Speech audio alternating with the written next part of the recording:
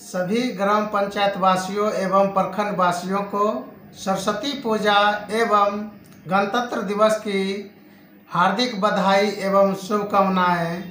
मैं पंकज कुमार साहनी, ग्राम पंचायत राज मुखिया पठौल पंचायत तेघरा प्रखंड का निवासी हूँ।